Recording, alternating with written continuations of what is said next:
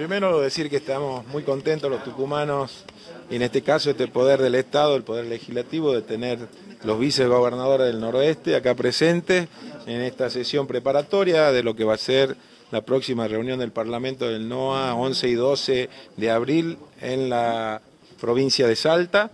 eh, donde yo voy a referirme al tema que he planteado ocupado por la crisis azucarera que estamos viviendo debido a los bajos precios, que ha sido planteado acá, eh, la posibilidad de que las provincias productoras del NOA, Salta y Jujuy, puedan analizar, tratar una ley similar a la que ya se trató acá en esta legislatura para exigir a los comercializadores y a los industriales productores de azúcar a exportar los excedentes eh, ya que eh, las malas experiencias nos han hecho ver que eh, debido al mal manejo de estos excedentes, el precio del azúcar se vino abajo, con, perjudicando así mucho más que a nadie, a los minifundistas, a los pequeños y medianos cañeros, y que el gobierno, más bien que sea, aunque sea una actividad privada, ha decidido a través del gobernador Alperovich y esta legislatura, intervenir para tratar de colaborar a través de una ley que le exija a los industriales a exportar esos excedentes. Bueno, como santiagueño también quiero decir que si bien nosotros no somos productores en la provincia de,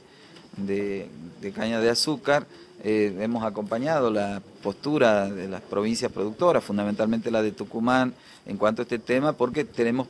problemas similares en otras economías regionales que a nosotros nos atañe y que hemos puesto en la declaración como un punto general de que es de interés para el Parlamento del NOA que los legisladores nacionales y el gobierno nacional con las políticas necesarias, bueno, acompañen y ayuden a las economías regionales del NOA que, bueno, están en algunas en situaciones muy difíciles. Nosotros, eh, el Estado tiene que ser un Estado activo, donde está al lado de sus productores que generan por supuesto, como dije, fuente de trabajo, así que nosotros desde la provincia de Salta lo vamos a apoyar, lo hemos hecho también con el tabaco y hemos contado con el apoyo de toda la provincia del NOA. Así que agradecer el acompañamiento por unanimidad de todos los vicegobernadores del noroeste y en especial a los vicegobernadores de Salta y Jujuy, que son